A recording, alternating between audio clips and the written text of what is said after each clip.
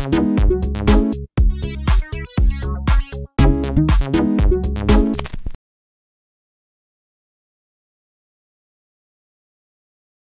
is up guys, I'm back with another video and I've been hearing a lot of myths about Android recently so I thought I'd just make a video about the top 5 myths I've heard in the past and just, just clear it up a bit, let you know if it's true or not. Number 1 is that Android is the exact same on every single phone. So there's always someone on the internet or on some forum saying Android lags or it doesn't do a specific task. But the truth is, if you ask that person what type of phone they're using, they're probably using a Galaxy S2 from a few years ago. Android is far from the same on every single phone. Every manufacturer has the right to change anything they want about Android since it's open source. And this results in a lot of different versions of Android being, not versions, but a lot of different varieties of Android skins available on different devices. So for example, we have HTC Sense, we have Samsung's TouchWiz, we have pure Google like on the Nexus devices, we have the LG skin, we have a, a lot of different skins. So Android is, is far from the same on every single phone if you think about it. Different models of Android phones can also vary in performance depending on how heavy the skin is. So for example, if you try opening the dialer on a Samsung device running TouchWiz, and then you try opening it on an HTC device running Sense, you'll see a huge difference and that's due to how heavy TouchWiz is on the Samsung devices itself. So to clear it up, Android is definitely not the same on every single phone. The second myth is that Android lags way more than other mobile operating systems. This was partially covered in the previous topic, but the user experience, functionality, and performance of an Android device is dependent on the version of Android it's running, the Android skin on the device, and also the hardware.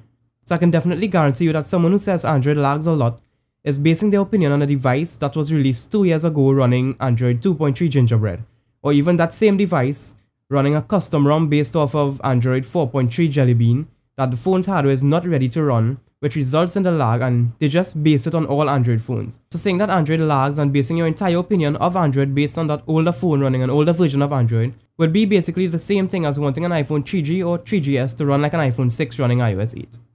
Myth number 3 is that Android is Samsung. So no, Android is not Samsung, Android is Android. There are many other manufacturers out there like HTC, LG, Sony, and a lot more, but the fact is that Samsung is just more famous to the general public due to its marketing. In fact, the other devices out there like the HTC One M8, the OnePlus One, the LG G3, the Sony Xperia Z3 will probably perform much faster than the Samsung devices due to how heavy Samsung's TouchWiz skin is.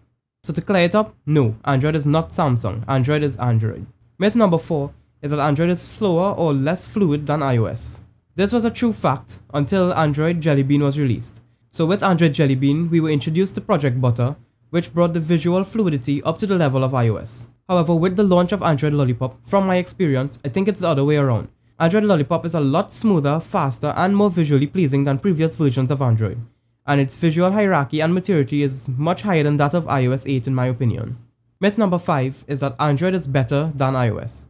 So sure, in terms of functionality and customizability, Android can do more, but the fact is that no one can judge this because it all relies on personal preference. If you like iOS, buy an iPhone. If you like Android, buy an Android smartphone. But don't state your opinion as a fact and say that hands down Android is better than iOS.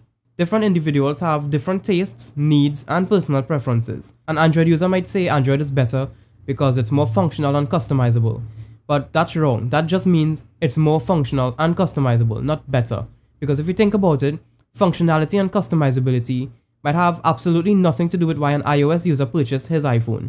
He might have bought it for the Apple ecosystem, iOS 8's design, or even continuity. So the fact is that one operating system is not better than the other. It's all based on personal preference. And bonus myth number 6, iOS is better than Android. So that's been it for this video. If you liked it, feel free to give it a huge thumbs up below and if you find it made sense, definitely share it around and let everyone know that these myths are not true. So if you aren't subscribed to the channel yet, feel free to hit that subscribe button below and I definitely look forward to reading all your comments below in the comment section. So that's been it again, thanks a lot for watching guys and I'll see you in the next one.